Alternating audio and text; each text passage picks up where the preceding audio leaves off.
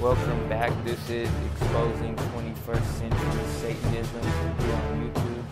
And one thing I just realized, like after like just thinking about um, like believing in God and and becoming a Christian and following after the Bible's commandments and really, you know, paying attention to the um, what the Bible says and stuff like that, and just comparing our world that we live in right now to the world that Jesus Christ lived in when he existed. I just really had like a just a vision in my brain or in my mind, you know, just something just spoke to me right now and I just realized that being a Christian or believing in God is not any easier today than it was back in the day.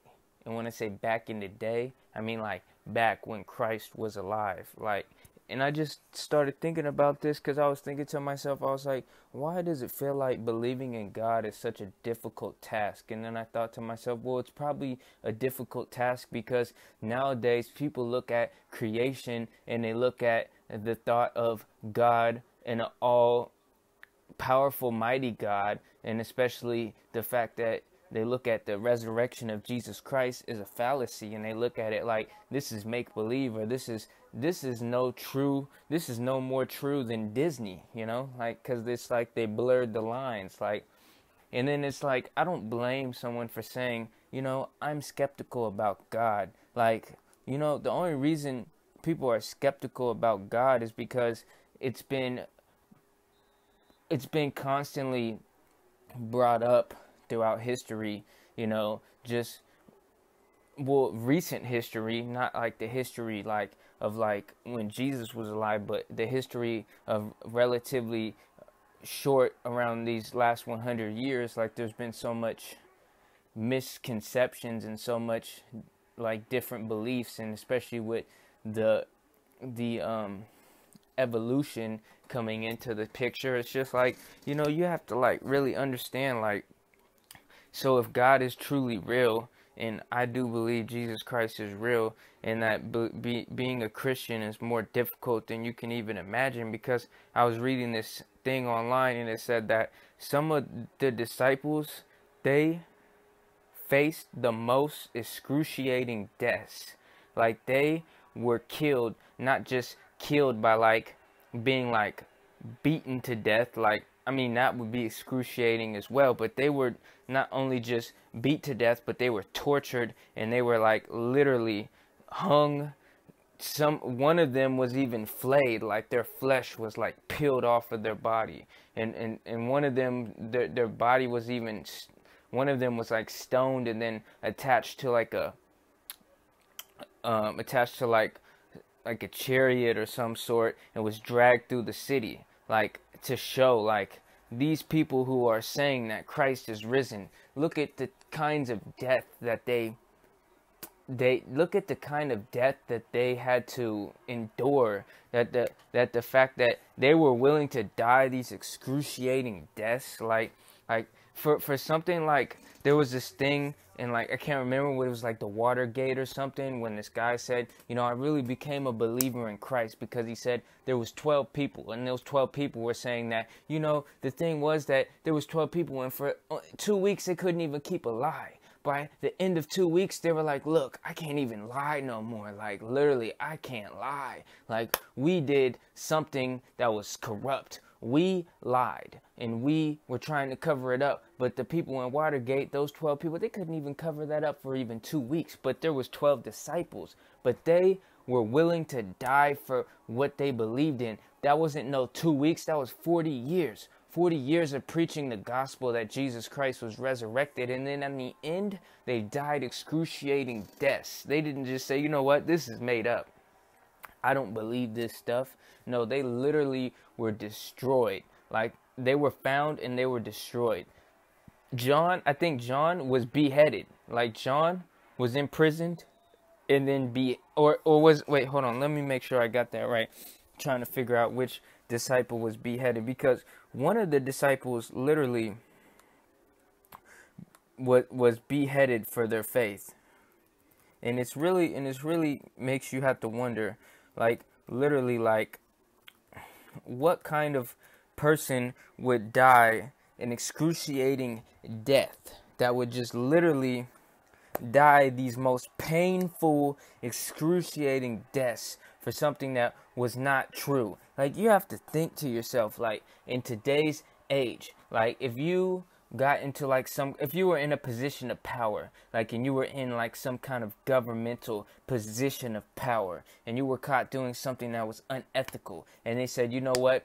Like it's either you admit your wrongs and you do the time or something, or you die an excruciating death for for all the lies you've told or, or something like that. So so in a sense like that might not be the perfect example, but like these disciples were saying like, you know what? We're not going to admit that this is made up. Like this is not made up. Like they were like saying to whoever was were per- persecuting them at the time that they were saying we're not going to say that this is made up like literally this is still the truth and we are willing to die for this not just die like a a normal death of old age or like die from like being poisoned or I don't know but no but literally die excruciating deaths like be like like the kind of okay here I I pulled up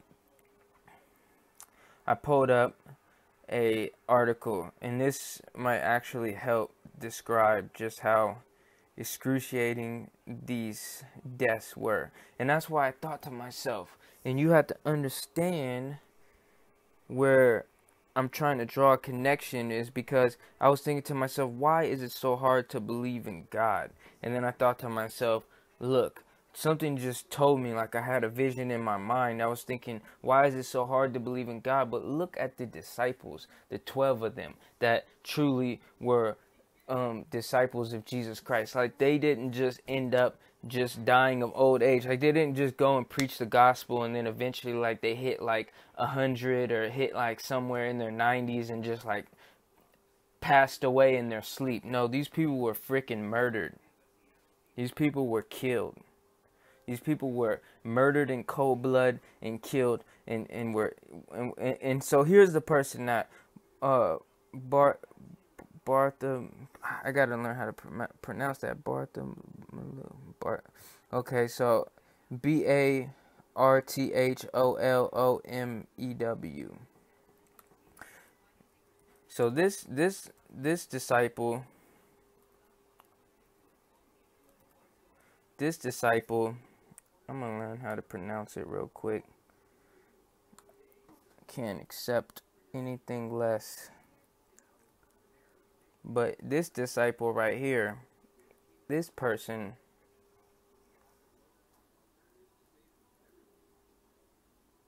Bartholomew. Bartholomew. Okay, so this guy Bartholomew. Bartholomew. Yeah, I got it. Bartholomew, he was skinned alive and beheaded. Does that sound like something that you would die for if it was a lie? Like, would you let yourself be skinned alive and beheaded? First, you were skinned alive and then you were beheaded. You weren't beheaded and then skinned alive. You were skinned alive and then beheaded. So, when you think about skinning a potato, you know what I mean? Like, you think about it like this person was skinned alive and beheaded. And so, Bartholomew preached the gospel in Mesopotamia, that's Iraq, and in Persia, that's Iran, Turkey, Armenia, and India. And he eventually was skinned alive and beheaded at Derbent, Azerbaijan, near Russia, on the Caspian, on the Caspian Sea by order of a local king after a majority of the people of Derbent converted to Christianity.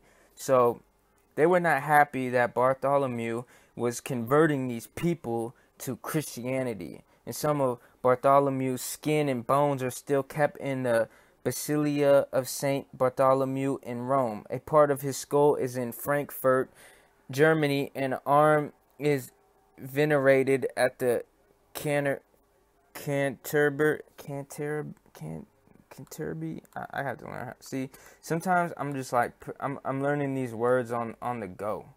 Like I'm not like scripting this video at all.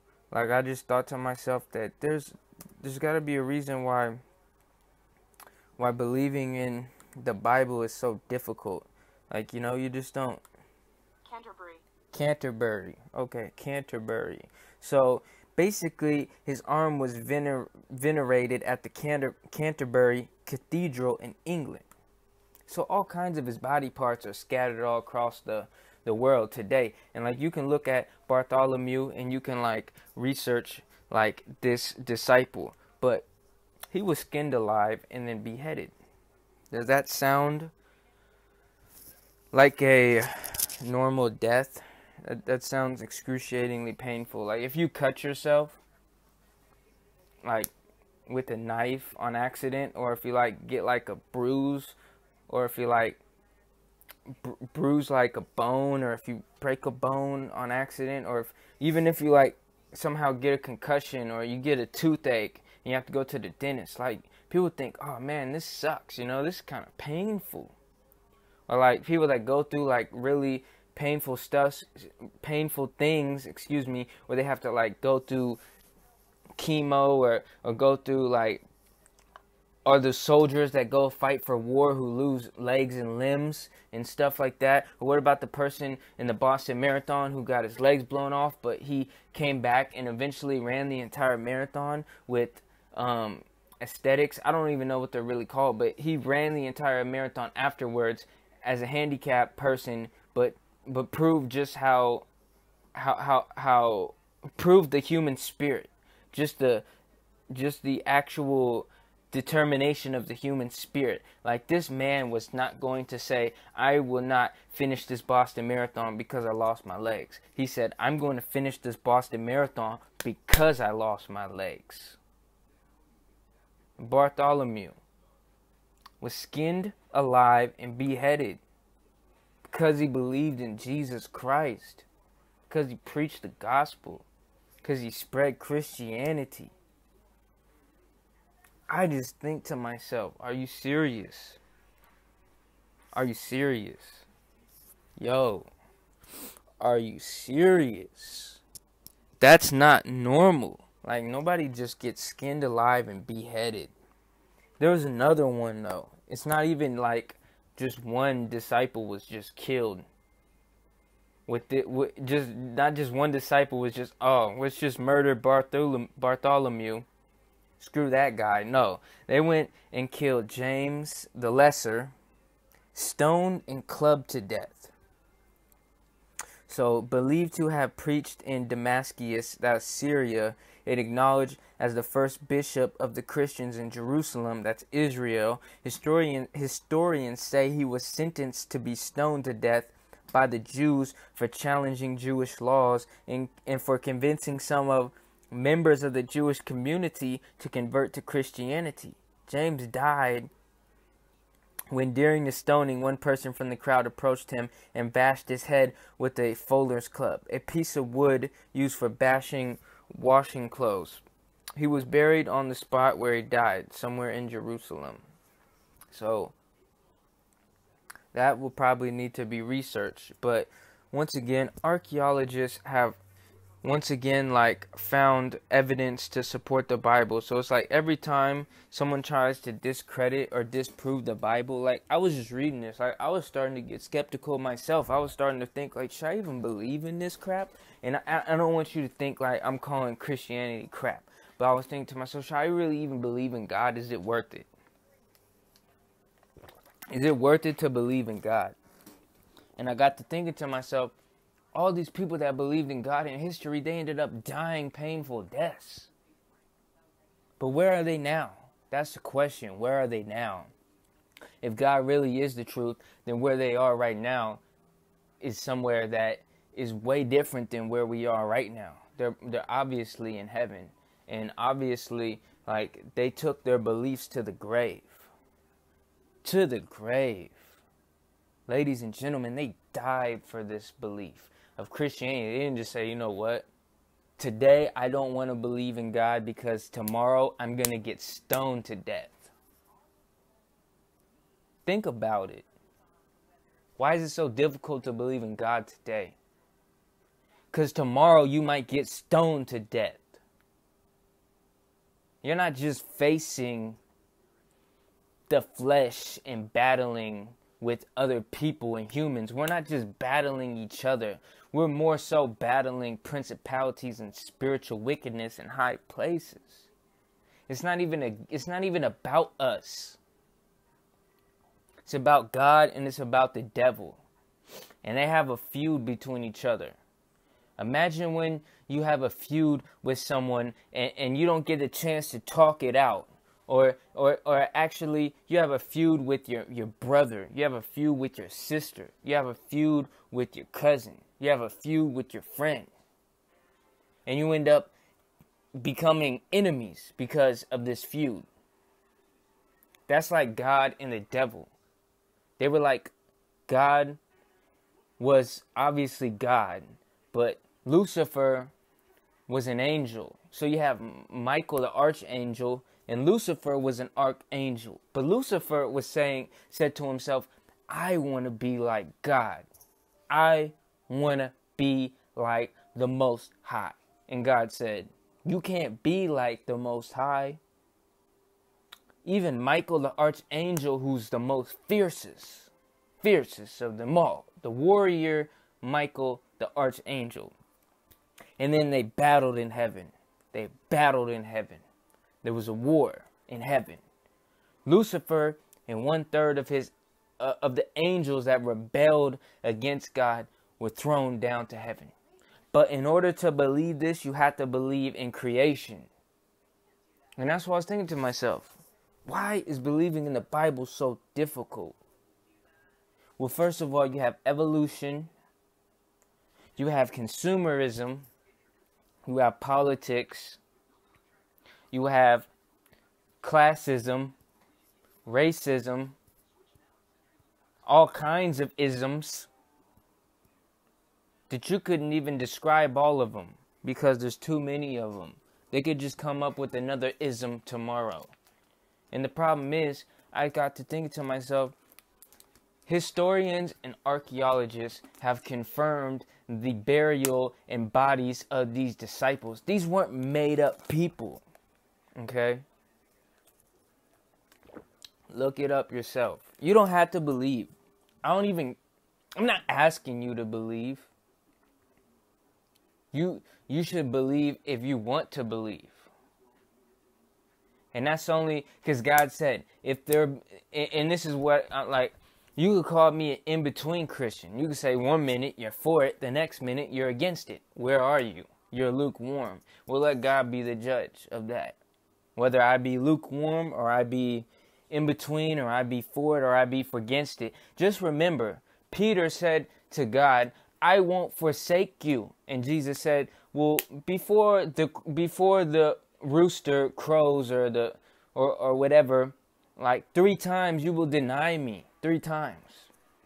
So I wouldn't even blame myself if if someone came to me and said, "Look, I'm going to kill you if you if if you don't if you don't if you don't deny Christ." I might deny Christ too, just like Peter did, but ultimately they eventually died for Christ. So I might be in, here and there, but in the end, I know where I'm going. And that's what we have to figure out where we're going.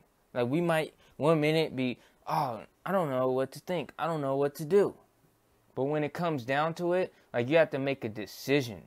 You have to make a decision that you're willing to die for. And that's what they did. They made a decision that they were willing to die for. When an NFL player becomes a quarterback, for example, Russell Wilson, and he puts in the hard work and he becomes the team captain, he doesn't become the team captain because he just made it because he skated his way through and they were like, let's give him the team captain. Let's give him that badge. No, he became team captain because he believed in something. He put the work in. He was willing to get injured. He was willing to face ridicule. He was willing to face whatever it took to get to that position. He was willing to even lose a Super Bowl and come back or win an, and win a Super Bowl. Because Russell Wilson told himself this he, he, he said to himself, why not? Because when his father died, or his father used to tell Russell Wilson, why not you, Russell? Why not you? Why not you? And Russell Wilson said to himself, Why not me? And what did he do? He went and won that Super Bowl. So that's the same thing with the disciples. They said, "Why not you? Why not you? Why not you?" We're going to we're to we're to preach the gospel of Jesus Christ and we're to die for it because why not you? If if if God be real and that's what they believed to the grave cuz they didn't just like freaking die of old age, they were freaking killed. Excruciating deaths. They were murdered, they were beheaded, they were destroyed. They were killed. It wasn't like some kind of it wasn't it wasn't it wasn't what you think like they just eventually died of old age. So if you ever ever thought that whatever happened to the disciples that believed in Christ, this is very interesting to know because literally these guys did not die normal deaths. And Andrew, I told you James the Lesser. Now, Andrew was crucified upside down on an X shaped cross. So, Andrew preached in Georgia, that's Russia, in Istanbul, that's Turkey, in Macedonia, and finally Greece. There in Patras, Greece, the governor, I don't know how to pronounce that name. I'll put the link in the description. So he was mad. He was angry. He was fuming. He was like, this guy, Andrew, is preaching Christianity. But you know what was like literally like it wasn't that they were preaching Christianity like believe in Jesus. Believe in Jesus. Because Jesus loves you. Jesus loves you. You need to believe in Jesus. No, they said you need to believe in Jesus because Jesus died and then rose again on the third day. They didn't say believe in Jesus because he loves you. No, they said believe in Jesus because he died and rose again on the third day. But they said he died and rose again on the third day because he loved you. He didn't just say Jesus loves you, believe in him. No, he died and rose again on the third day because he loved you. Yes, he loved you, but that wasn't the, that wasn't it. He didn't just say, you know what? And that's what makes the Christianity in the Bible so what's that word? Controversial controversial. So when you think of Donald Trump and his tweets, and people say, you know, Donald Trump is a controversial person. Well, think about Jesus Christ. That was probably a million times worse than whatever Donald Trump could tweet on Twitter. Like he he would trump Trump on Twitter if Jesus Christ was here today and had like a Twitter account. He would easily trump him by, you know, just preaching the gospel, just saying, you know what, I'm the Son of God, and this and that.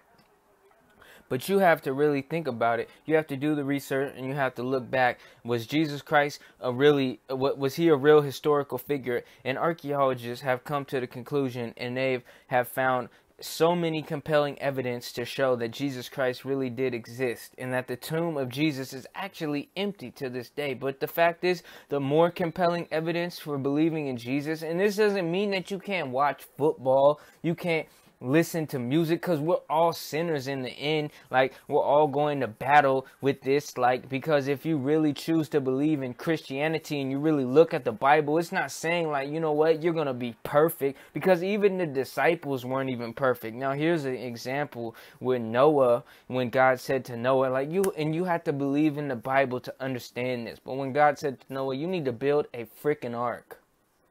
An ark.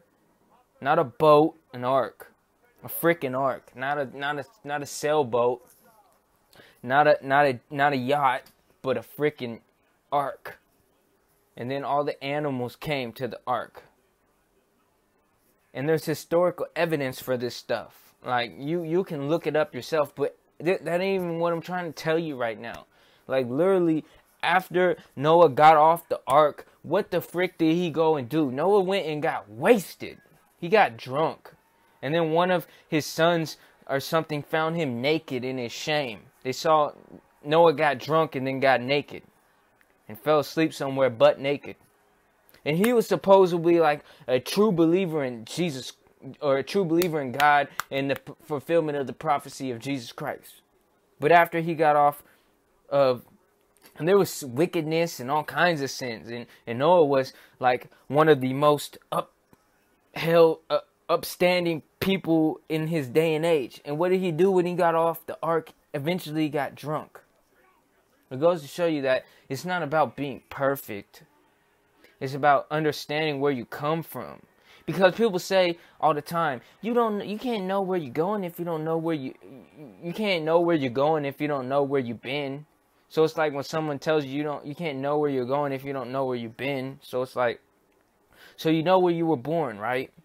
And then you could tell people, yeah, I was born here, but now look at where I am. Imagine if you didn't even know where you were born and people ask you, where were you born? I, I don't know, but I'm here now.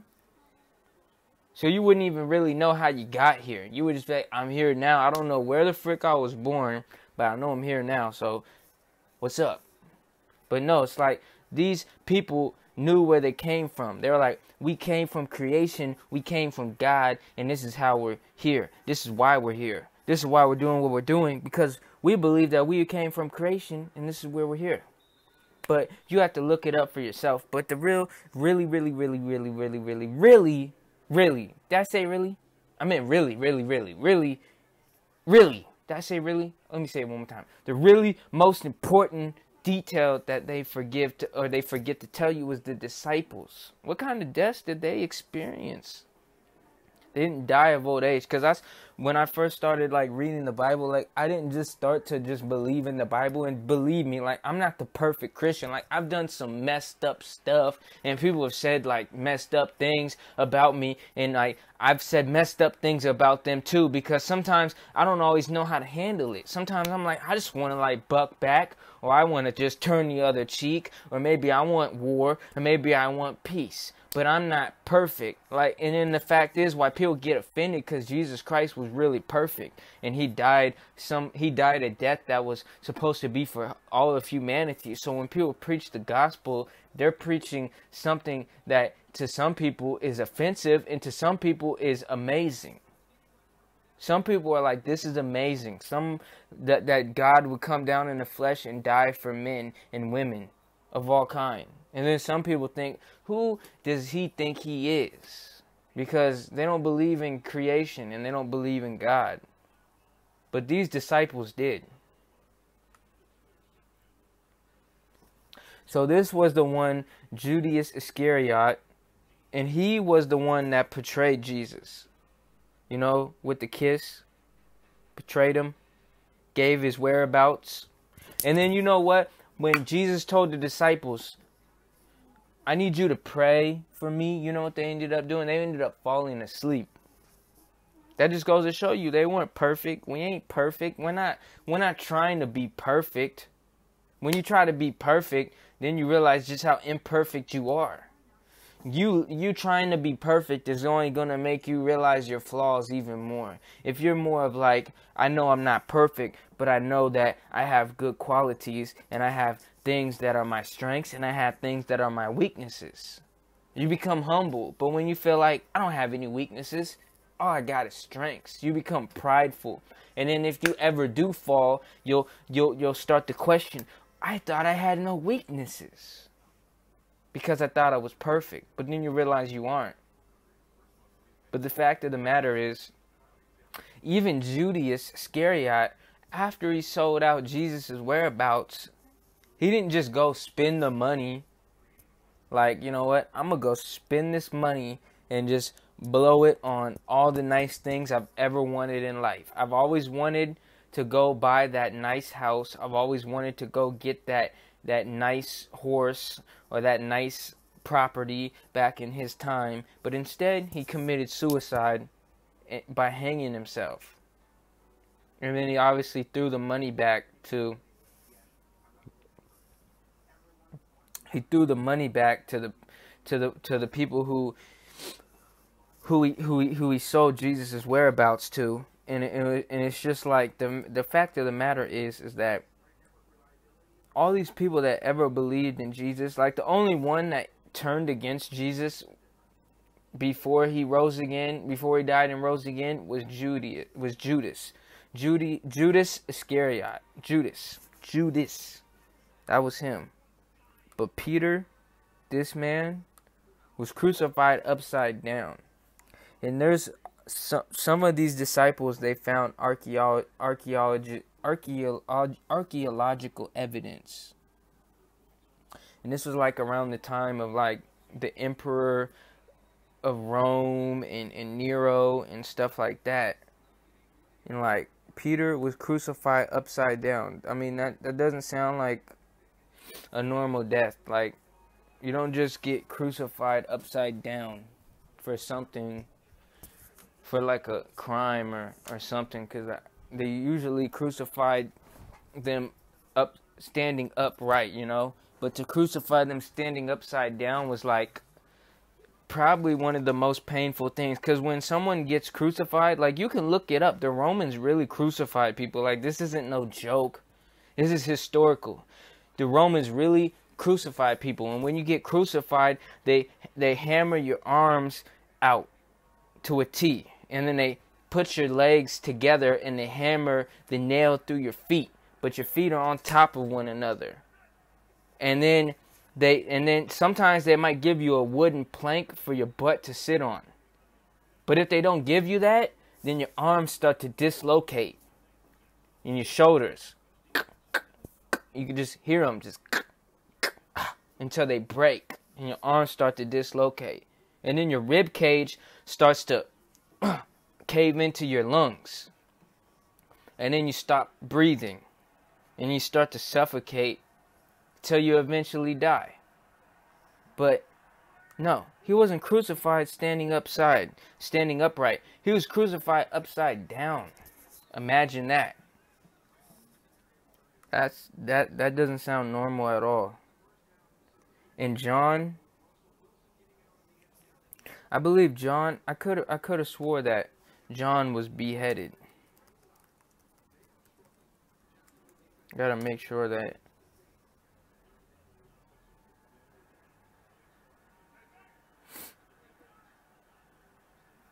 So I mean, this one you need to look into because I don't know about them saying because some of because I, I could swear somebody said that John was let me see. John was banished.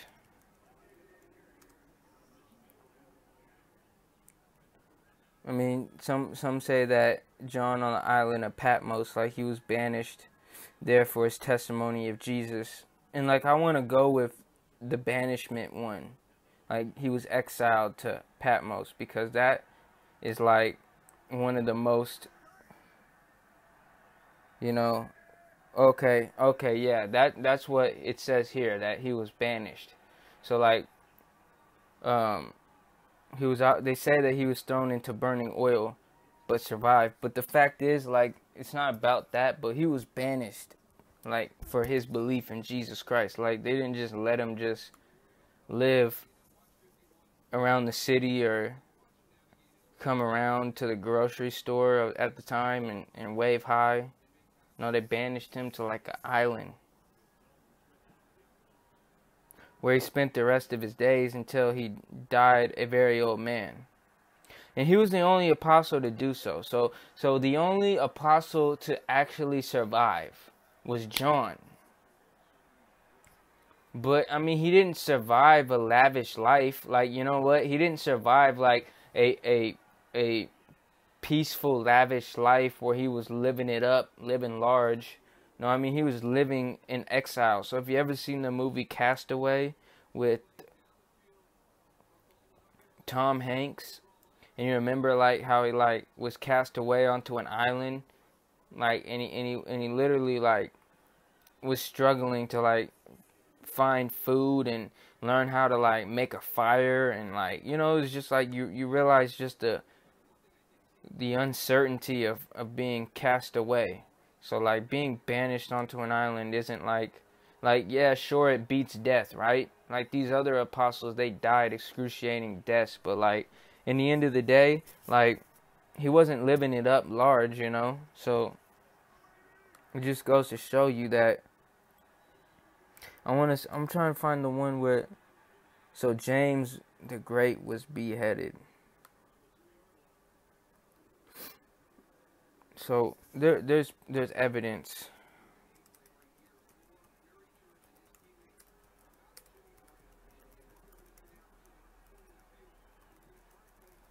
There's evidence actually for the deaths of. There's evidence, you know, that the the actual disciples died for their belief in Jesus Christ. Not because they died because they believed he was God, but they died because they believed that he rose again.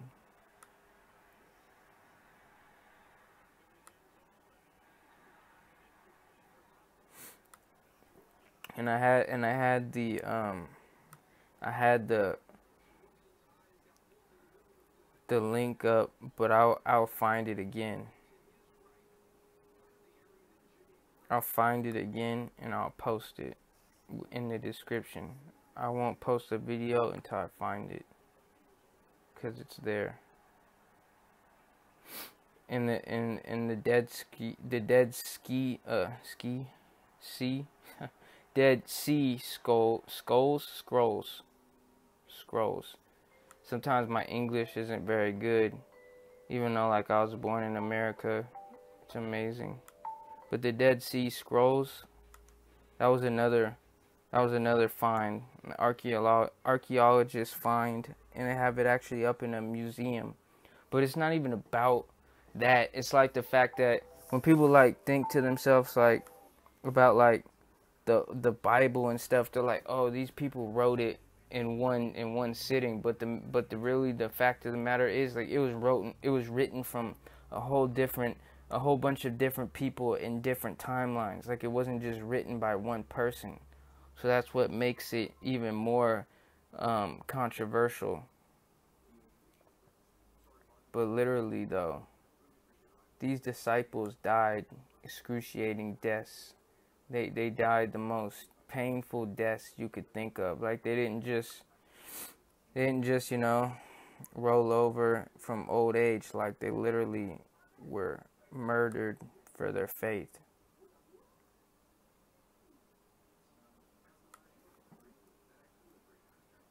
You have to look it up too because I had the link and I'm obviously going to find it. I am going to find it because I know it's here. And it's not like I'm not looking for Bible evidence. I'm looking for factual evidence real world evidence because it's true. I mean, there's more to it than you think.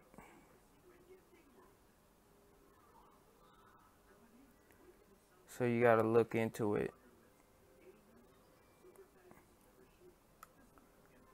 And that's just the thing about about the about the Bible, though, that makes it so controversial is that there is evidence. And that and that's really why people get offended. It's because they don't really want to believe that they don't want to believe in that someone that they don't want to believe that someone would die for something like this because God is real. They want to believe that if they were real, that they died because they're uh, they're crazy or something, you know. But they don't want to believe that they died because they believed in God. They believed Jesus Christ was God.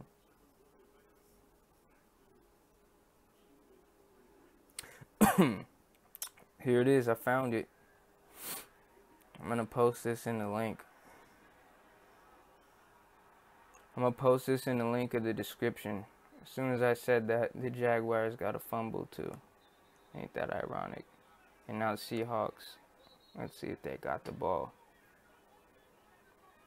Do they got it? Who knows? It's up in the air. But I found the link, and I'm gonna post this link in the description. Like it just goes to show you that this, there's more to this than you even think. Like this is not, this is not just made up how the Seahawks got the ball. As soon as I said that, I told you guys this is real. This is some real stuff. This is really real. It's not even a joke. So I got the link. I'm gonna post this link in the description, and I've kind of told you guys a little bit about like why it's so hard to believe in God. And I know at the end of the video, I kind of like got all sidetracked and started looking stuff up on the computer and stuff, but I'm just trying to find this link because I want you guys to know that if you do choose to believe in Jesus Christ, just know that you're not putting your faith in Jesus Christ for no reason. Like it's really he really is God and that's very offensive and and you're either going to be pissed off. You're going to either be very pissed off right now or you're going to like be humble and say, you know what, I'm going to do some research and see if Jesus Christ is really God. So you're either going to be hella mad or you're going to like want want to know like why is this person saying that Jesus Christ is God? And if you're someone that's like likes to under likes to like look into stuff before you make a decision, then you probably won't be mad as hell. But if you're someone that just gets offended when people talk about like religion and stuff, you'll probably be mad that I'm saying that Jesus Christ is God. But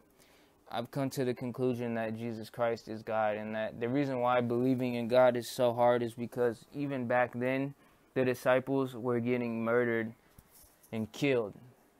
They weren't just dying of old age. So I think I've come to the conclusion that believing in God is very difficult.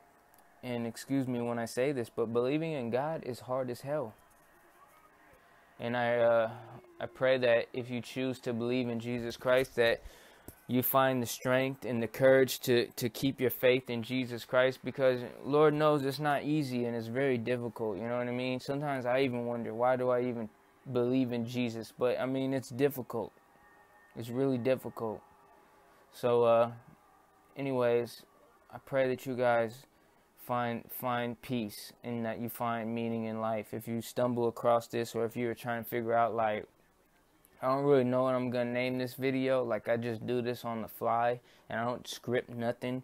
But like I think really this is gonna be about why believing in God is so difficult. Something like that. Or let me be more specific. Why being a Christian is so hard. How about that? That's what I'll